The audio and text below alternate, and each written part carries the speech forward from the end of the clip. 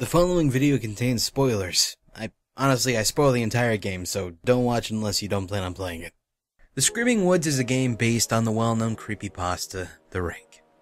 It begins with our hero Blake, who I named D-Bell on account of Drake Bell is a fucking man's man. D-Bell is a 16-year-old film student who lives in America. His mother, a maid, refuses to feed D-Bell as his friends will be here soon and they've all planned a trip to the woods for months now. Your friends arrive, consisting of Ralph, the dorky Evangelion reject, Kate, the potential love interest, Tack, the creepy redhead kid, Jared, the token stoner and cameraman, and Joe. Honestly, no one gives a shit about Joe. You talk of your plans, Ralph is being a bitch as usual, and you head off to the woods. There you meet an elderly man with a nice purple hat, and he tells our heroes that they're all fucking stupid and should piss off. They don't. Setting up camp, you find a broken cell phone with a SIM card. On the SIM card is a picture of a super fucking scary creature that instantly spooks the gang and they decide to leave. Nope, too bad, the force won't let them and the path they came from leads nowhere. Night falls and spooky noises happen. The token stoner hightails it, dies, and D-Bell could give two shits and he jacks his camera and the rest of the gang watches the video he recorded.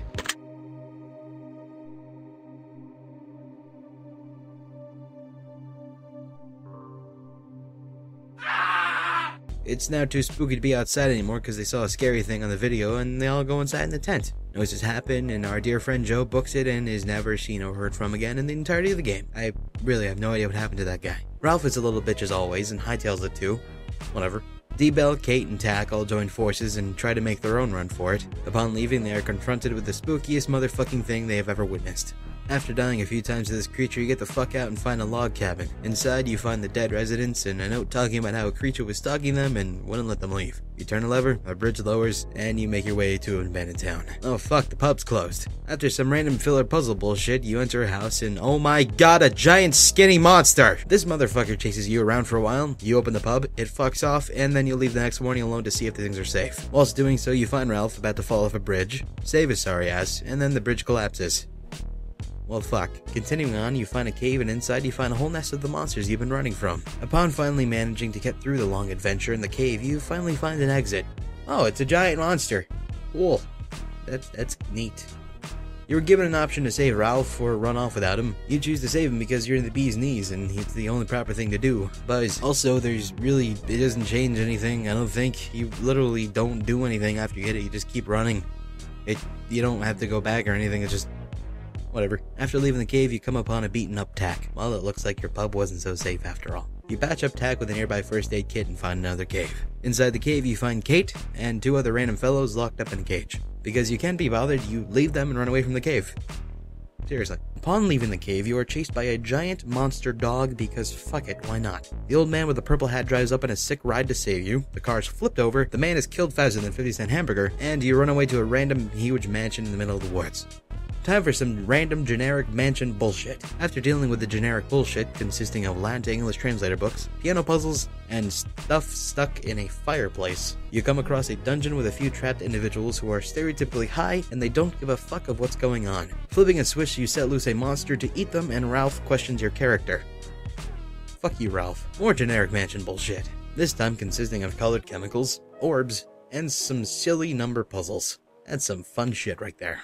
You find a golden coin, and after some Latin to English translation skills, you realize you must throw it in the wishing well outside. Upon doing so, you are transported to some underground waterway, where a morality conversation is initiated. There it is. I don't know. What are we doing anyways? Let's just get away from this nightmare castle. I think we should just give up. What do you mean, give up? In our lives now, so it won't be so horrific or painful death.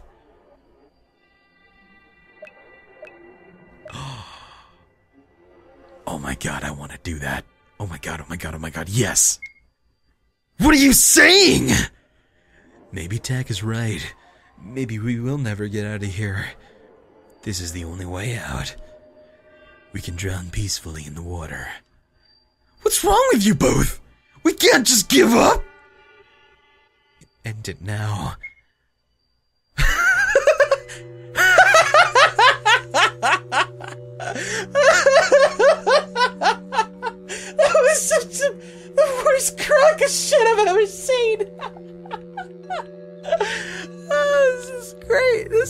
take it back. This is a great game. Once you realize that for some reason killing D-Bell off wasn't the best idea, you make your way up to a room that has a few doors in it. All of them but one doesn't kill you. That's neat. After going through a really dark labyrinth, you open the last door and you make your way into a room with some really weird redheaded guy. He speaks of how there is no hope, and if you respond properly like you should, you jump off a cliff and kill yourself. If you fuck up and don't kill yourself, you can climb up the rope and leave. Either way, our new redhead friend kills himself because fuck it, why not?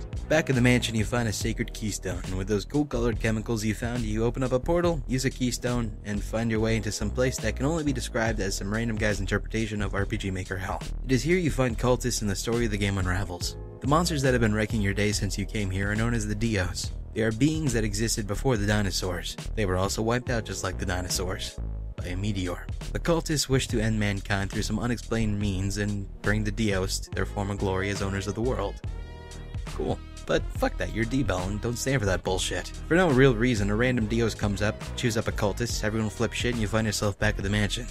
Oh, hey, Kate. You find Kate in a cage, but before saving her, you pick up a sword and fucking throw it into the head of a giant Dios, and that's the highlight of the game in its entirety.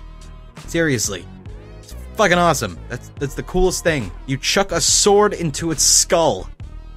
That's just neat. After saving Kate, you run into the cultists again, who are all up in your face. You say fuck off and somehow explode the mansion to a roaring green and red inferno. Seriously, I have no idea how that happened. Just look at this.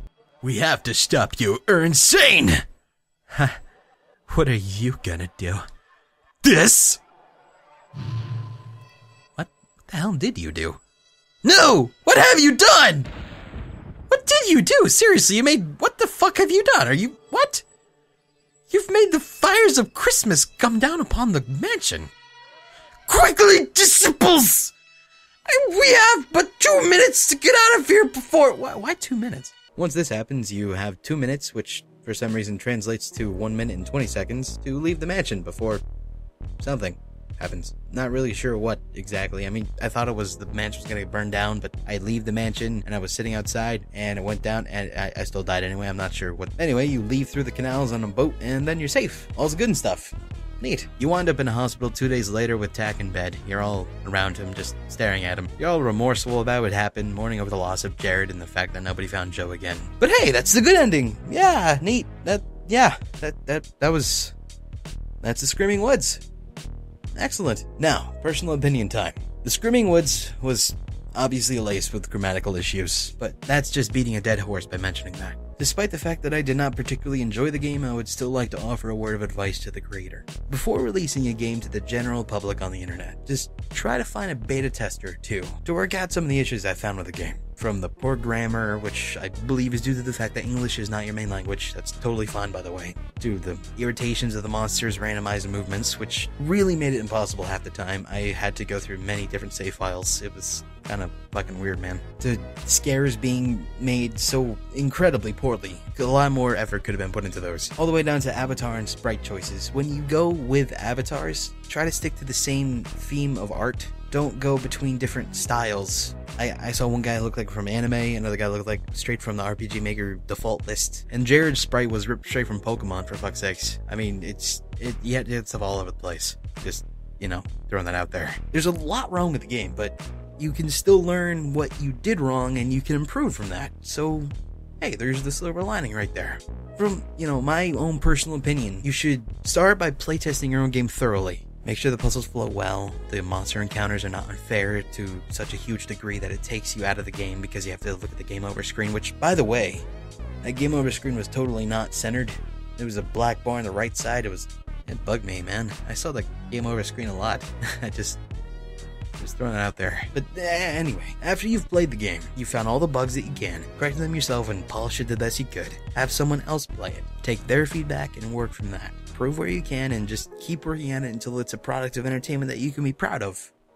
Not, um, this. Alright, that's all I had to say. Cool. Outro time. Take it.